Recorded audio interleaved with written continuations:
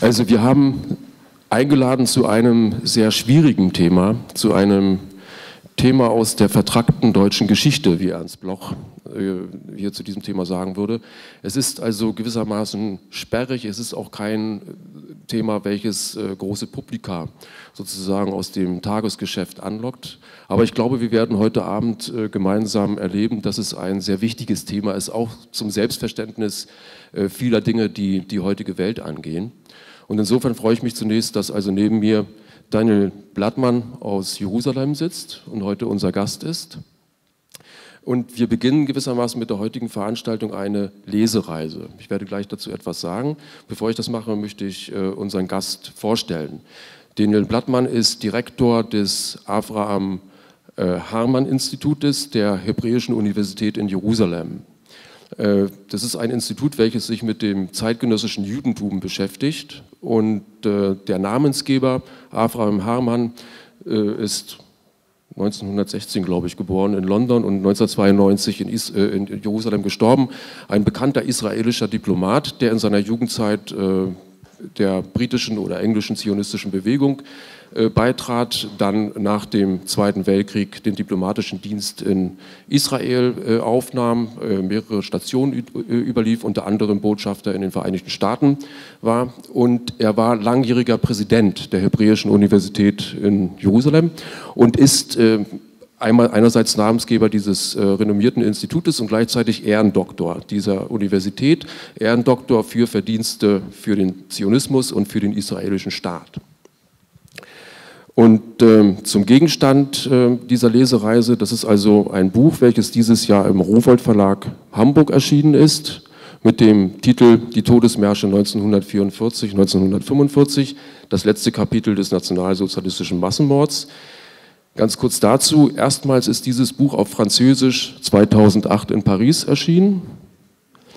Dann ist äh, 2010 eine hebräische Ausgabe oder auf Hebräisch äh, in Jerusalem erschienen und von dieser Ausgabe äh, ist dann 2011 diese deutsche Ausgabe übersetzt worden und erschienen.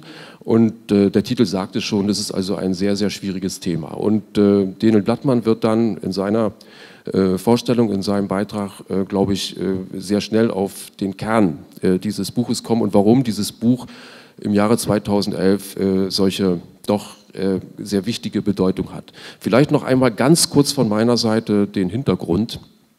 1944 ähm, äh, im Sommer, als die Rote Armee im Osten sozusagen weit, immer weiter nach Westen vorrückte, äh, begann, begann die Nationalsozialisten Gefangenenlager äh, Vernichtungslager im Nordosten Europas, also im, heutigen, im, Raum der heutigen baltischen Staaten, zu räumen, die dann in Richtung Zentralpolen ging. Und ab Sommer 1944 dann äh, wurden immer mehr sozusagen im Maße des Voranschreitens der, der Ostfront äh, diese Lager und äh, Konzentrationslager evakuiert. Äh, und daraus speisten sich sozusagen der Gegenstand dieses Buches, die Todesmärsche, die also im Sommer 1944 den Anfang nahmen und äh, deren Schlusskapitel dann hier äh, in Deutschland im Zusammenhang mit dem zusammenbrechenden Nationalsozialismus stattfand, mit teils sehr grausamen Begebenheiten. Und ich glaube, dass wir heute Abend einige Sachen dazu aufsprechen werden. Daniel Blattmann, was, äh, glaube ich, was ich herausgelesen habe aus diesem Buch, das ist eins und damit werde ich dann, äh, glaube ich, Ihnen das Wort gleich übergeben, ist, dass es also ähm, schon ein, ein ähm, etwas Besonderes ist. Das heißt, äh, es sind also Gefangene aus den verschiedenen Lagern, Institutionen der Vernichtung äh, des Nationalsozialistischen Reiches, vor allem aus dem Osten kommt, also der heutige äh, polnische Raum. Also Auschwitz, äh, Großrosen, Stutthof sind solche äh, Gegenden, aus denen sich diese Todesmärsche dann wesentlich zusammensetzen, speisten mit den Gefangenen. Äh, zugleich wurde sozusagen der Ort der Verwahrung, der Ort der Vernichtung ein anderer. Es wurde ein offenerer Raum, es wurde ein Raum, in dem also sehr viele verschiedene Menschengruppen sozusagen aufeinander trat und wo bestimmte spezifische Erscheinungen hervortraten. Und das ist im Grunde genommen der Gegenstand dieses Buches. Und soweit äh, man das auch aus den Rezensionen, Rezensionen lesen kann, ist äh, die Art und Weise, wie Diane Blattmann diesen Gegenstand darstellt, äh, schon sehr, äh, sehr etwas Neues, wo er also versucht, äh, ein bestimmtes neues Licht sozusagen für uns heute lebenden, hier in Deutschland äh, tätigen Menschen herauszufinden. Sehr vielen Dank, Denen Blattmann, dass Sie diese weite Reise zu uns äh, angetreten haben und ich darf Ihnen jetzt zunächst für Ihren Vortrag, Einführungsvortrag zu dem Buch das Wort geben.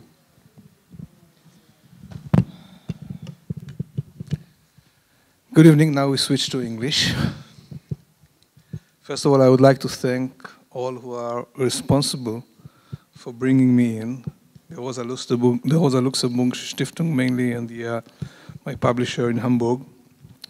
It is a great pleasure for me to uh, be here and during the coming 12 days in other parts in Germany to talk and to uh, expose my book, which uh, as, as uh, was mentioned here, it was published this year in Germany, in the States, and other places.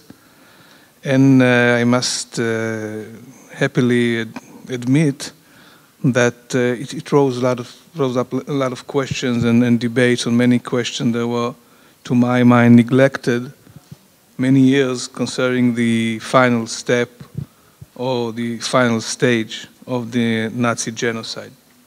So I prepared uh, sort of highlights, I would say, uh, from the book, uh, which I would like to read from, uh, to you. And I would be very appreciate if we can have a discussion right after that and, and, to hear comments from, from anyone who would like to comment.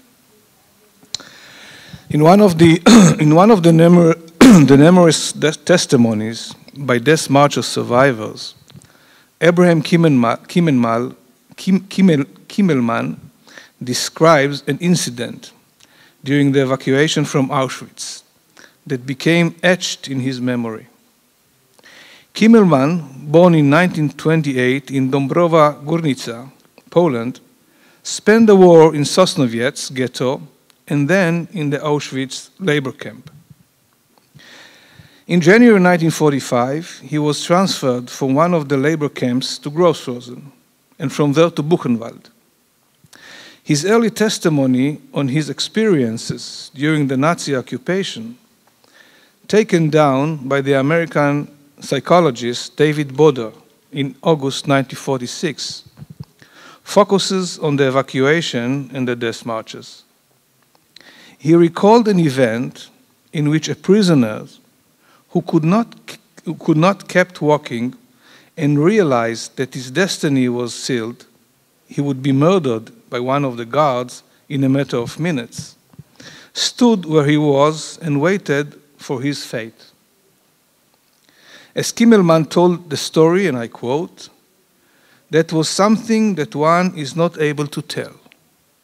A man full of his senses, in whom everything is still functioning, he is feeble and can't run anymore.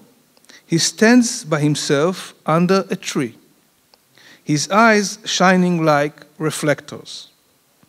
And he waits for the moment when the whole formation will have passed by till the Hindom's guard will arrive with a block leader, also an SS man, who will shot him. Can you imagine what this is? A man with his full mental abilities who knows what is going on and he waits for his death. And so every three, ten meters, one shows somebody standing under a tree or sitting down, and such men would be shot and thrown into the ditch. End of quote. An almost identical event is described in, in the memoirs of Robert Antelme, which were also written right after the war in 1946. As, as a prisoner, Antelme was completely different from Abraham Kimmelman. He was a non Jew, active in the French resistance, whom the Gestapo arrested in Paris in 1944. Antelme was sent to Buchenwald, but soon transferred transferred to Bad Gandersheim labor camp. Labor camp. On April 2, still small, this small camp was evacuated. out of its 450 inmates at the time, around 40 were murdered before they were march, marched out. The 150 who survived the operation arrived in Dachau on April 27. In his memoir, Antelme described how a friend of his, Francis, decided that he no longer had the strength to continue and that it was useless to struggle against his fate. Another friend, Paul, tried to convince Francis that he must go on and could not give up now when liberation so close at hand. In, Antelme, in words, and I quote again, maybe Francis really cannot go on anymore. Paul has no way to knowing of knowing, neither does Francis. When he said, I'm staying here, his body decided to quit too. Maybe his time too has come, the time when, the, when he refuses to hear any more about this. Francis knows he'll be killed if he, decides to, if he decided to stay. And Paul can do anything about it. By now, he doesn't even the strength to examine the significance of his own powerless or the fatality of Francis' decision. It all takes place in haze, and Paul has barely enough strength to argue with Francis. End of quote. This incident highlights one of the important, important characteristics of the period of the death marches.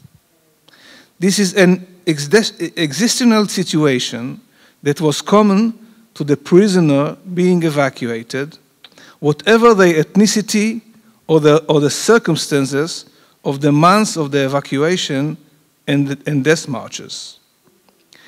A reader of survivors' testimonies gets the impression that the last month of the war imprinted themselves as worse than any earlier time. Many of the prisoners, particularly the Jews and the Poles, reported that despite the extended, the extended periods of imprisonment, starvation, and deprivation in the ghettos and camps, where they saw their families and communities being deported and murdered before their eyes, the death marches were the most hellish experience of all. So, what made the survivors remember the death marches as such a murderous period with so little hope for survival as constructed with the other stages of the Nazi genocide. What distinguished the structure, execution, sequence of events and the murderous behavior from the earlier years when hundreds of thousands were slaughtered by the various death, death squads set up by the regime. In my view, a number of factors, of factors combined to create this unique, unique bloody situation in the, warning, in the warning weeks of the war, during what is the historiography of the Nazi genocide refers to as the period of the death marches. Before I, before I describe these factors, I would like to begin with a historiographic note from a personal point of view. In 1996, Daniel Jonah Goldhagen visited Yad Vashem and participated in a seminar along with a group of Israeli Holocaust researchers. This was the period of the great controversy, controversy about his well known book. One of Goldhagen's claims is that the death marches, the last act of Nazi ruthlessness, provide, provide the strongest evidence of the murderers' ideological determination to complete the mission they took up from the day Hitler came into power the annihilation of, the every, of every last Jew they could lay their hands on. These killing, killings took place after the outcome of the war was no longer in doubt, when it was clear that there was nothing more that could be done with the Jewish prisoners since there were no longer any real possibility of working them to death. But the pathological anti Semitism of the murderous convoy guards was more powerful than any other factor, so, so they kept slaughtering their, their victims to the very last day. Goldhagen's book includes a detailed description of the death march of a group of Jewish women from the Helmbrechts labor camp, which he offers as the main evidence to his claims. In my book about the death marches, I dealt with the harrowing incident of the evacuation from Helmbrechts, and I arrived at conclusions substantially different from Goldhagen's. In any case, after my encounter with Goldhagen at Yad Vashem, I went back to read, to reread Antelme's L'espèce humaine, the human race. This left me with unsettled, with, un, with unsettled with Goldhagen's firm conclusions about the death marches. After all, Antelme writes about a camp that, to the best of our knowledge, never held a single Jewish prisoner, a camp whose prisoners were evacuated in, an, in a horrific death march that fewer than half of them survived, in which the murderous attitude towards the victim was no different than from the killers of the Jewish women during the Helmbrechts evacuation. So, how can this be reconciled with the conclusion about the Germans' pathological anti Semitic bloodthirstiness even during the period of the death marches, as, Gold, as Goldhagen describes. The similar fate of prisoners with different backgrounds and ethnicities, who for uh, diverse, uh, diverse uh, reasons were brought to the camp and from there evacuated and forced on the death marches, led me to conclude that, that we must examine the final month of the Nazi genocide from a different angle than which historians have been using. How then can this period be characterized? What makes it unique in the chronicle of the Nazi genocide? I will touch on three main aspects of this uniqueness. The first one I called the period and the awareness of the impending Stunde Null. The circumstances that led to the decision to implement the final solution in 1941 have been, uh, have been the focus of extensive historiographic discourse and analysis. Without going into various claims advanced by scholars, it is conventional to posit that Barbarossa, followed by the expansion of the campaign on the Eastern Front in fall 1941 was an important element in Hitler's decision to set the murder machine in motion.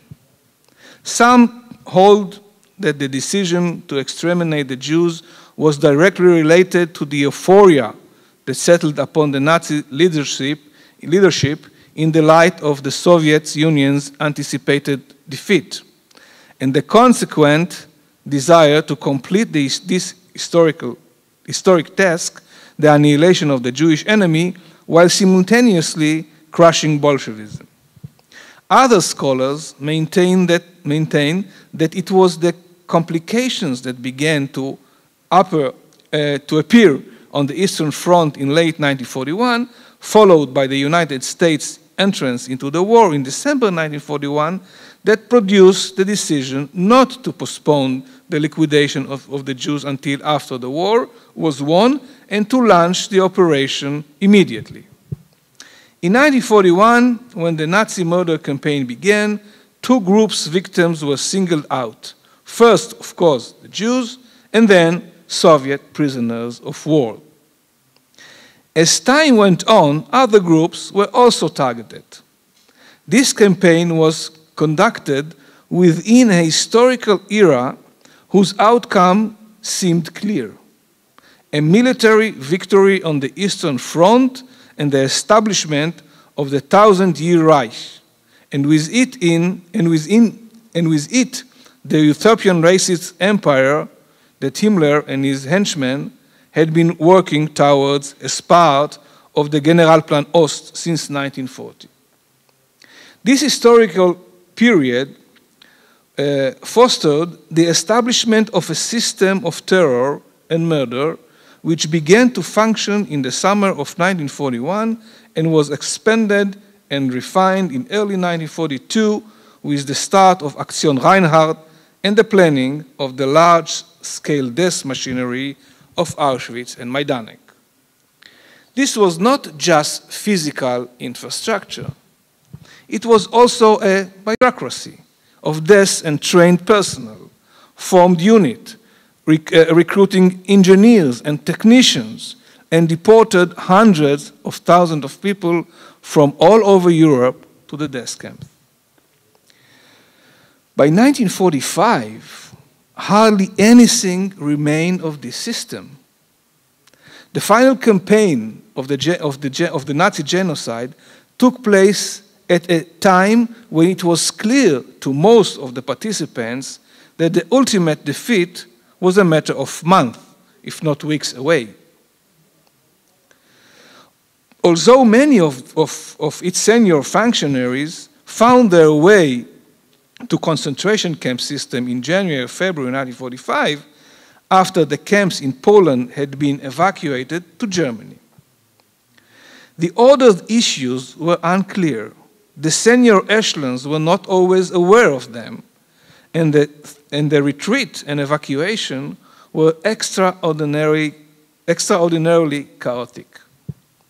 If we consider the impact of the time factor of on how the genocide played out and try to understand how it influenced the unfolding of events, it is clear that the slaughter at the end of the war were completely irrelevant to realize to, to, to realizing the vision of the future that many Germans had endured, uh, uh, sorry, uh, four years earlier. In other words, thousands of Germans kept slaughtering hundreds of thousands of victims until the day they surrendered, not because they were participating for various reasons, for various reasons in the organized system that powered the annihilation, and not because they were fulfilling their national mission of a vision of the future, but for completely different motivations. The facilities of mass terrorism developed by Nazi Germany made their first appearance only a few weeks after Hitler's rise to power. The concentration camp system developed in 1934 was no secret.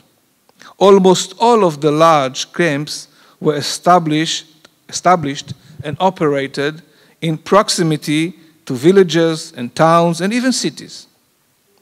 Sachsenhausen or Oranienburg was about 35 kilometers from Berlin, Buchenwald about 10 kilometers from Weimar, Mauthausen about 20 kilometers from Linz, and of course there are other examples. Until 1943, almost an entire decade after the concentration camp, uh, after the, concentra the, the construction uh, on the uh, concentration camps began, there was a strict separation between two domains. The territory where the civilians' population lived and the atrocities in the camps. The civilians who lived near the camps saw them as frightening installations. Knowledge of what went on behind the fences was no secret. Nevertheless, the camp system was a closed world intended for punishment, removal, and isolation of those considered to be the ultimate enemies of the political and the social order, opponents of the regime, moral offenders, incorrigible criminals, and their like. But in 1943, the encounter between the camp population and the civilian population in the Reich itself changed dramatically. The hundreds of satellite camps set up to serve the needs of the total war and the military supply system brought, brought camps inmates into direct contact with the residents of the towns where the factories were located. Hundreds of towns in Germany and Austria were con con converted into closely, closely knit economic systems composed of three separate, separate uh, of three separate but overlap, overlapping worlds. The town and its inhabitants, the camp and its prisoners, and the factory where the two groups encountered each other. For the prisoners, the results of this encounter were usually disastrous. The second point the community of murderers and the identity of the victims. It is quite impossible, sorry, it is quite impossible to sketch a standard profile of the Nazi perpetrator. perpetrator.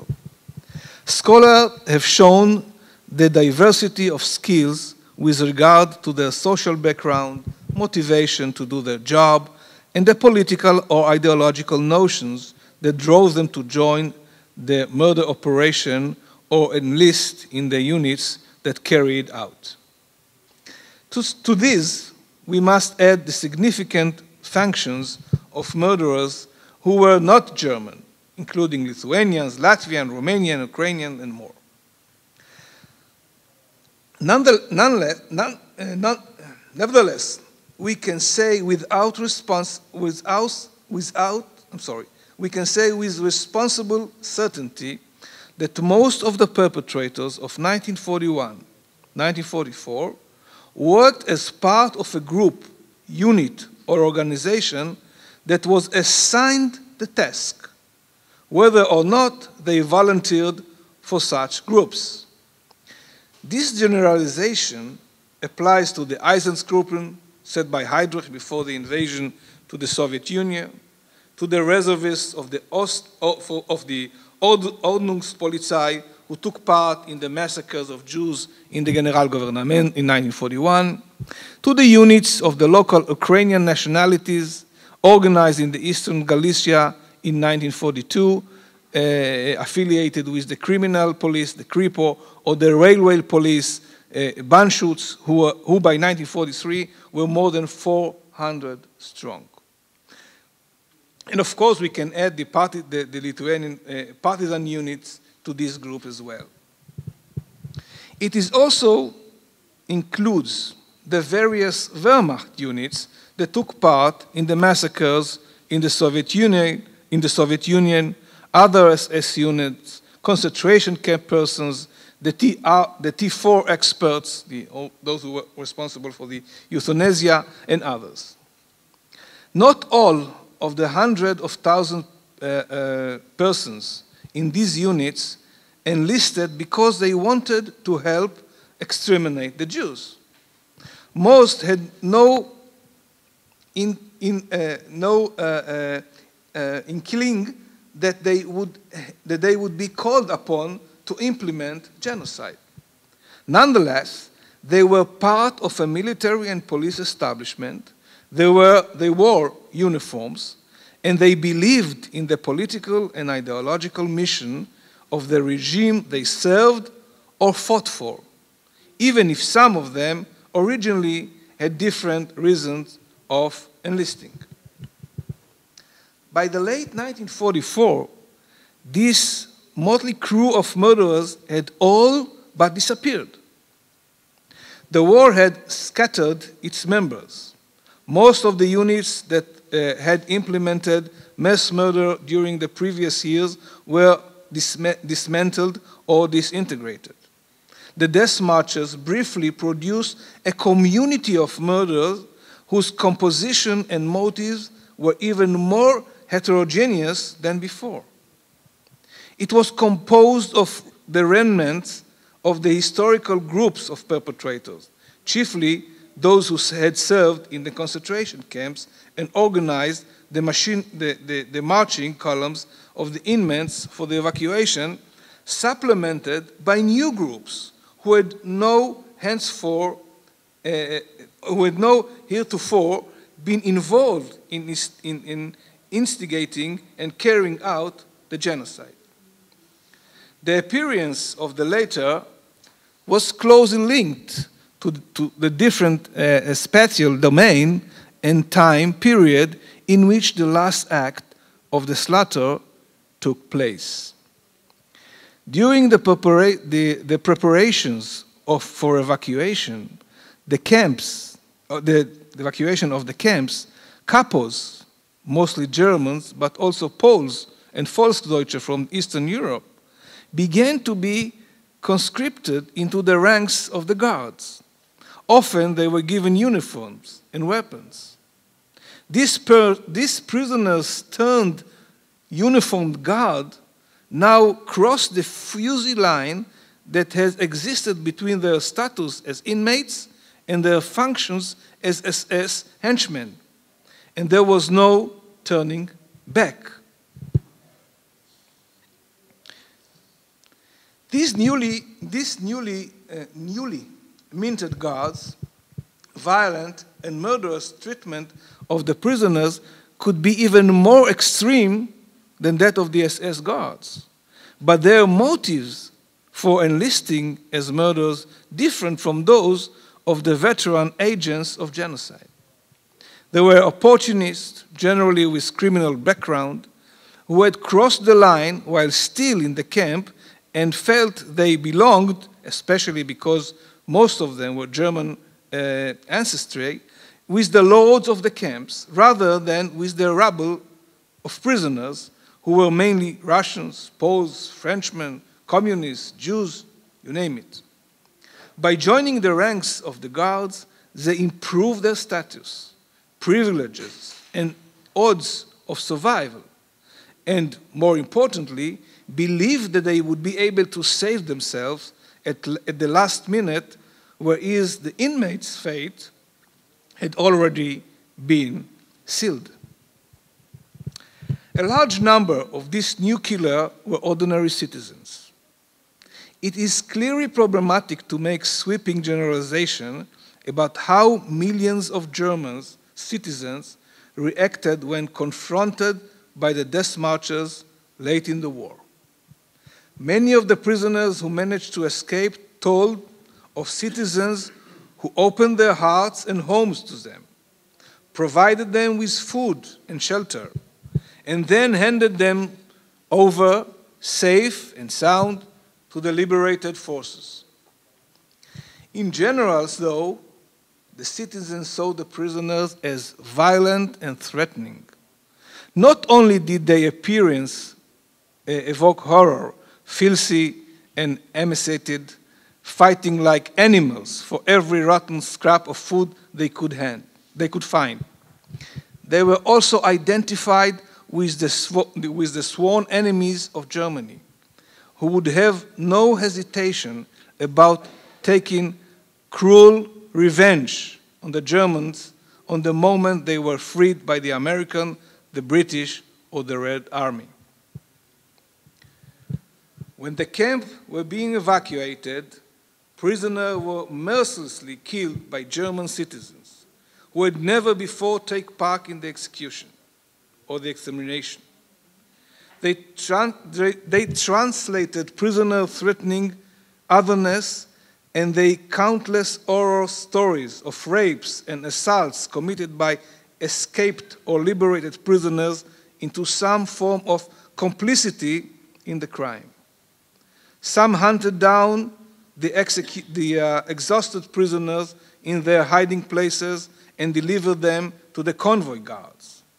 But quite a few pursued the escapees and killed them with their own hands because there were no longer any, uh, any guards to take custody of them. Of equal importance, the civilians gave broad support to the convoy guards and escorts, urging them to get the prisoners away from their homes as quickly as possible by killing them in cold blood if, it, if, if, if needed be. These new recruitees included older men enrolled in the Volkssturm and teenagers of the Hitlerjugend, along with minor party functionaries, local policemen, and, fire, and, and even firefighters. Sometimes this murder squad was joined by soldiers whose unit had disintegrated as they retreated deeper into Germany. These casual killers were supplemented, of course, by the surviving camp staff and the SS men who had begun the death marches with the prisoners. Violence, terrorism, and murdering the enemies of the regime was the old hate of this last group.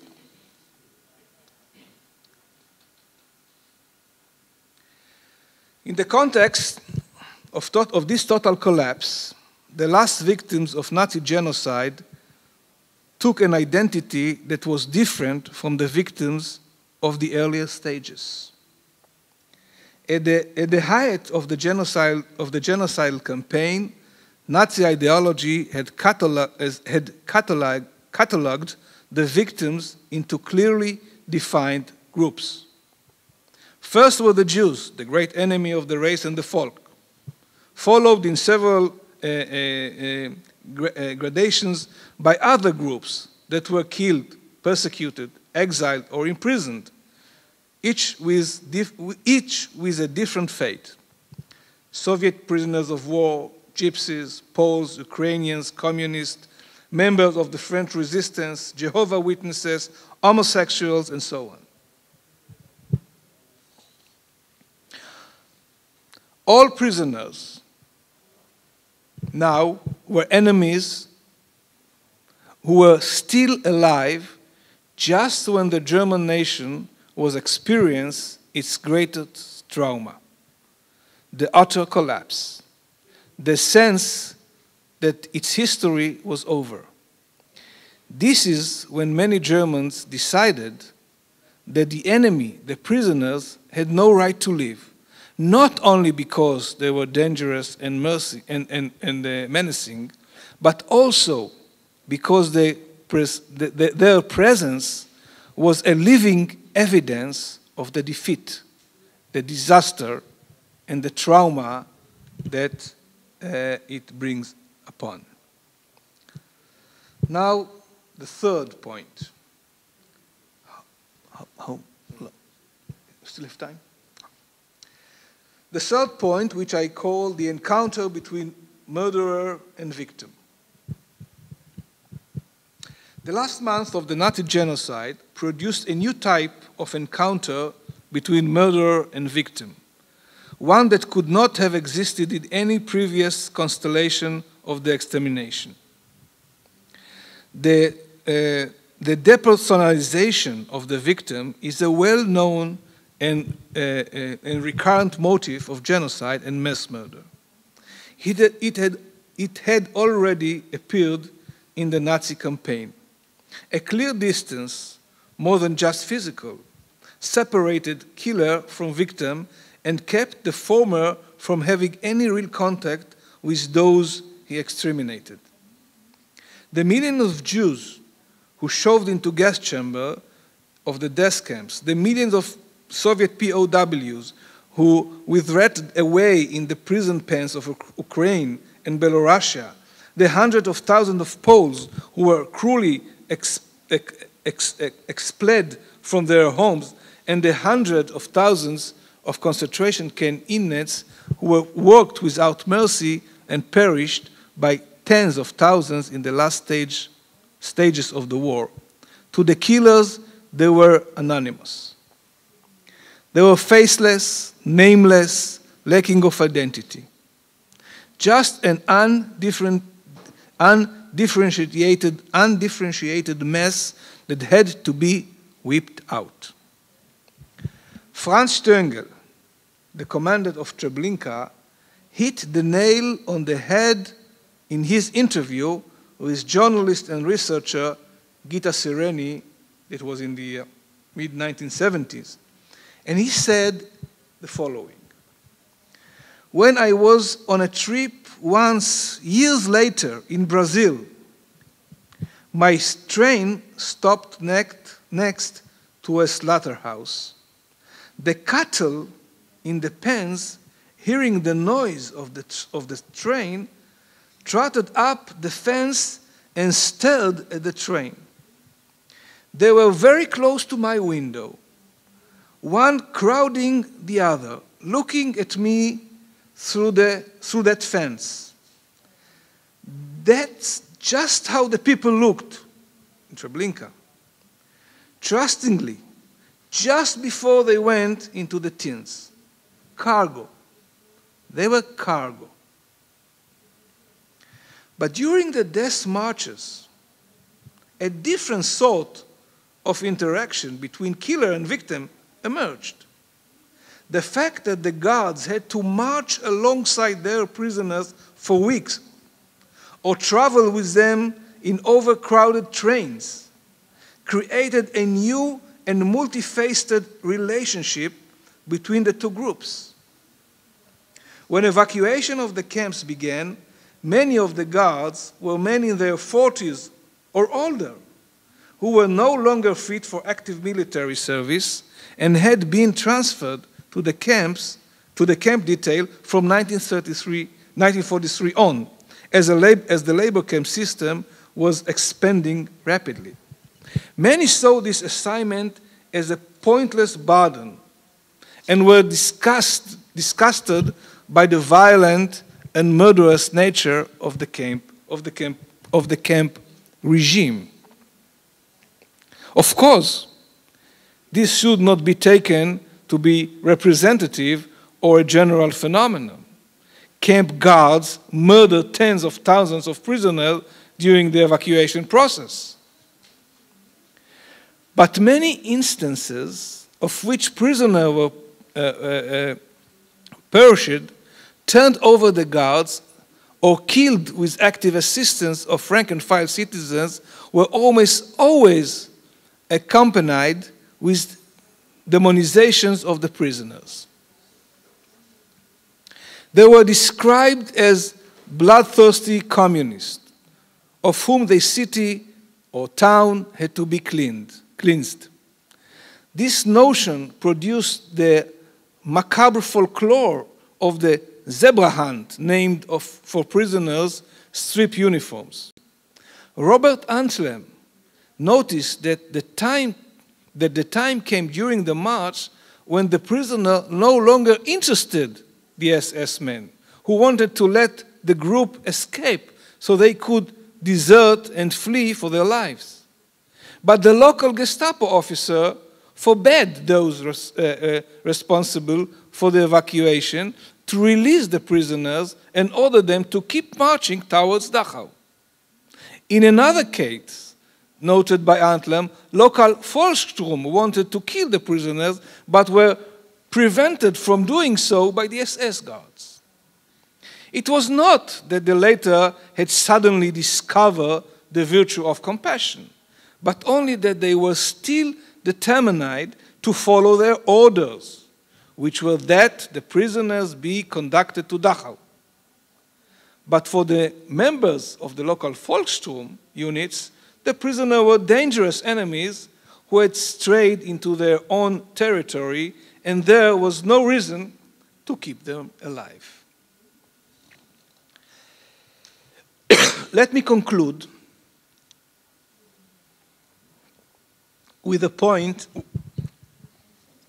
that I uh, coined or described as methodological conclusion. And I will try to take you to a different perspective of the death marches, something that I'm working on as my current research. I'm doing it now. Death marches and genocide in the 20th century. Let us try to enlarge the scope of this phenomena. What the death marches in the closing months of the Second World War were, were, I'm sorry, were the death marches in the closing months of the Second World War unique among all genocide episodes of the, 19, of the 20th century? Were they exclusively, exclusively a function of the situation that developed in the concentration camps in Germany during the final collapse, or have they had historical parallels elsewhere?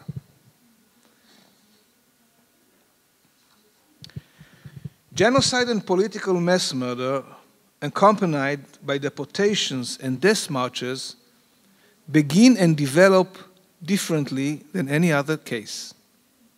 There are numerous number of 20th century examples of this.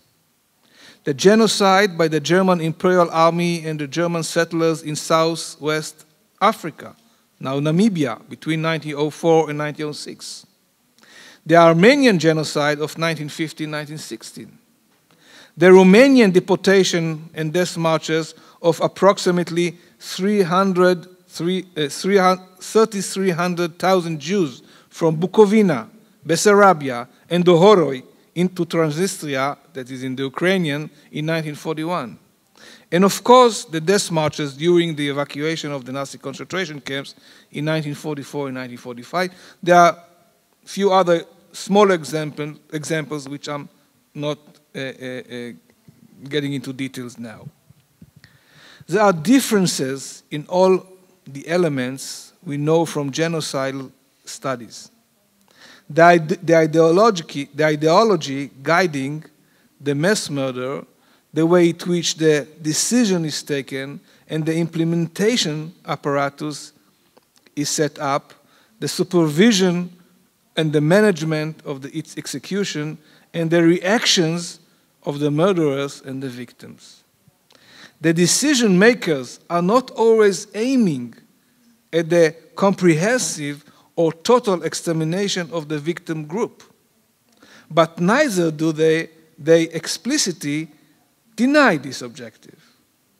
Consequently, the field echelons have to develop special mechanisms not only in order to understand what they have been asked to do, but also and chiefly to define the bounds of the genocide and its ultimate goals, as well as to find the personnel to carry it out.